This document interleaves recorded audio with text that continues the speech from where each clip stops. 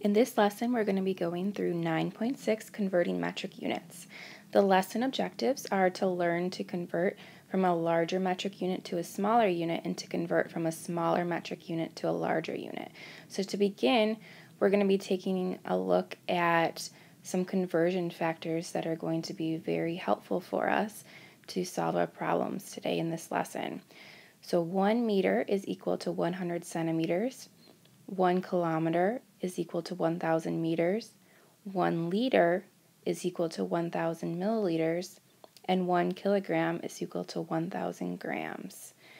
And so we're going to be using these conversion factors and making some connections to what we've already learned in 9.2 and 9.4 with multiplying and dividing decimals by tens, hundreds, and thousands. And so once you understand using the conversion factors and the pattern that's involved with the examples that we're going to be going through, then you'll be able to apply it to more metric units. One important pattern to note before we start is that if you are going from a larger metric unit to a smaller unit, you're going to be multiplying. And when you're moving from a smaller metric unit to a larger unit, you're going to be dividing. For our first examples, we're going to be converting between centimeters and meters. So remember the conversion factor is 1 meter equals 100 centimeters.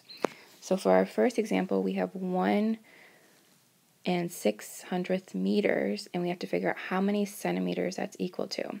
So when we're going from meters to centimeters, we're going to be multiplying by 100. So we have 1 and 6 hundredths meters we multiply that by 100. And remember, when you multiply by 100, you're moving your decimal point two places to the right. So let's go ahead and move our decimal point over one, two places. And that tells us that 1 and 6 hundredths meters is equal to 106 centimeters. And then next we're going to look at going from centimeters to meters, which is the opposite. So instead of multiplying by 100, we're going to be dividing by 100 to go from centimeters to meters. So we're going to be taking 7 and 2 tenths centimeters and dividing that by 100. So remember when we divide by 100, we're going to be taking our decimal point and moving it two places to the left. So we're going to go one place, two place, put our decimal point, and then fill that gap in the new place with a zero. So 7 and 2 tenths centimeters is equal to 72 thousandths meters. Next, we're going to be converting meters to meters and centimeters.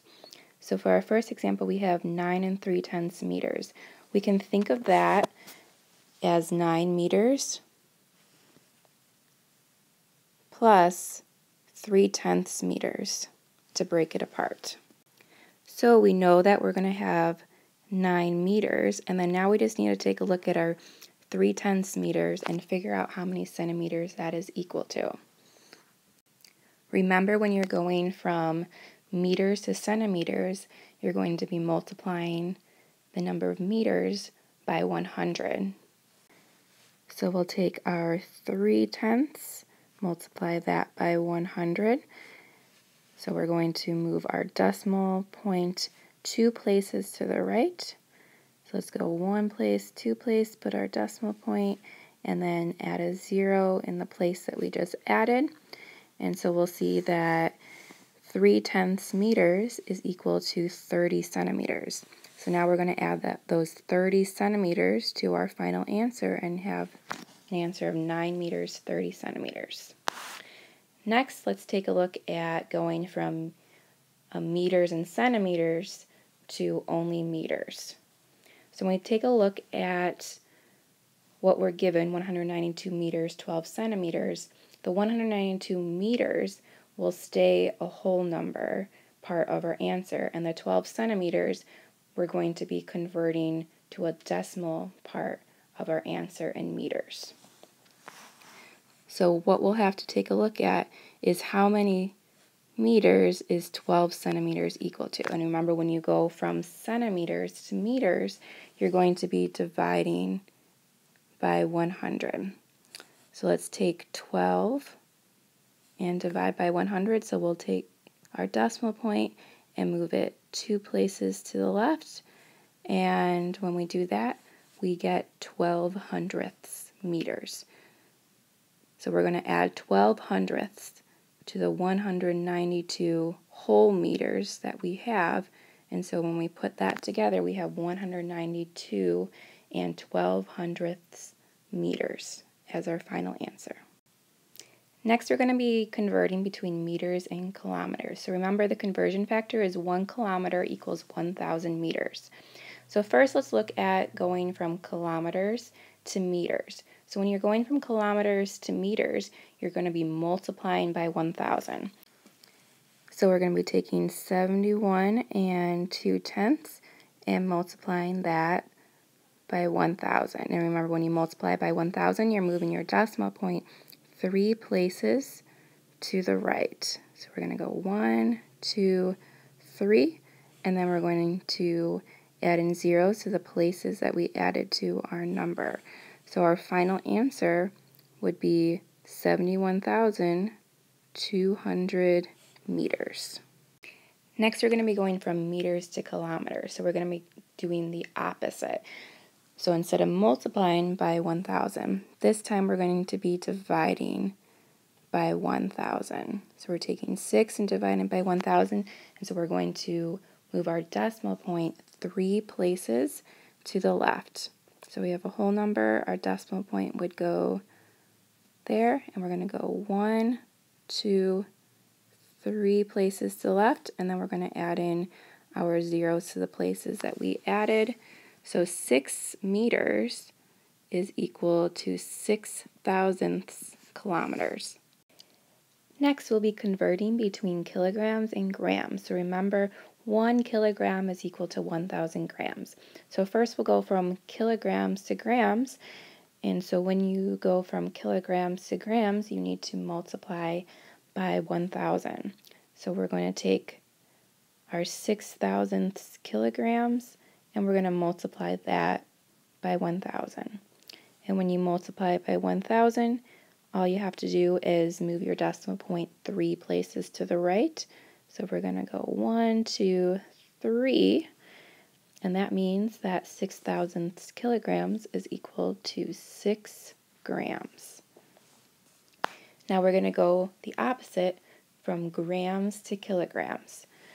So again, hopefully you're starting to understand the pattern, instead of multiplying by 1,000, you're going to be dividing by 1,000 when you're going from a smaller unit to a larger unit.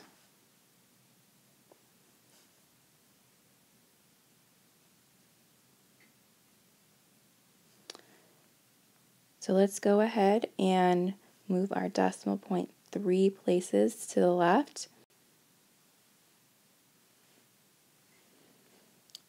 And then let's add in our zeros into the places that we created in our number. So our final answer would be equal to 2 thousandths kilograms.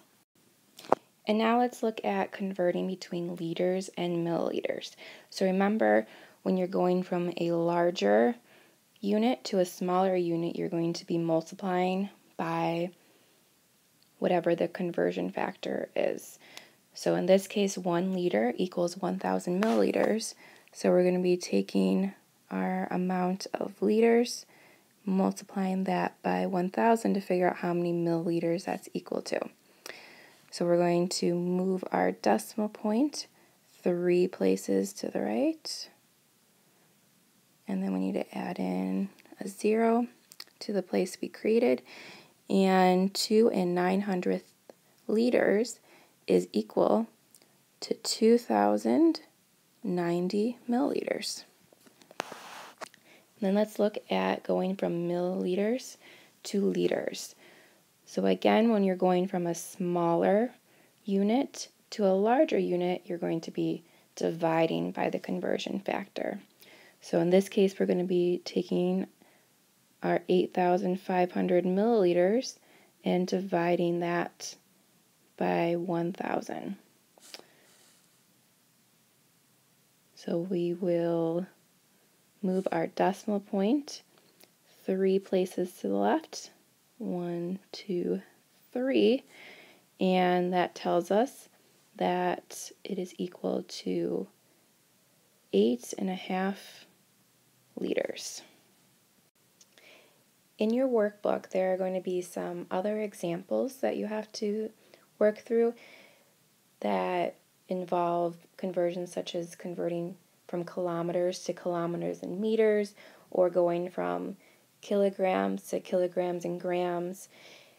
And you will be able to apply the same process and pattern that we've used on the previous examples. So if you need some help on those problems, you can go back and watch the examples where we looked at going from meters to meters and centimeters and meters and centimeters to meters to help you.